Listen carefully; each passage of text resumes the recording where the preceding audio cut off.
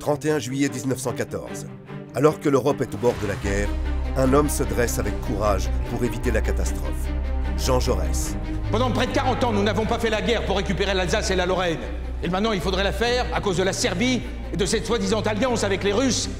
Ses convictions, ses talents d'orateur, qui l'ont imposé comme le chef de file du pacifisme en France, lui valent beaucoup d'ennemis. Le gouvernement est victime d'une intrigue russe.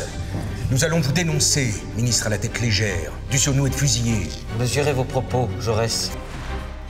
21h45 ce 31 juillet.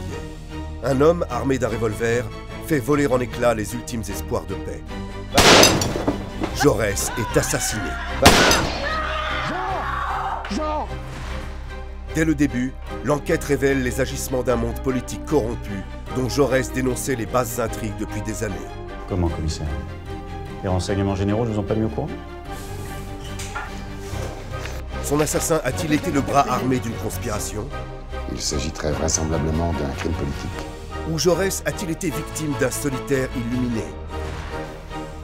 Vous savez comment s'appelle le fait de venir repérer sa victime la veille C'est cette énigme que les enquêteurs vont devoir résoudre alors que toute l'Europe s'embrase.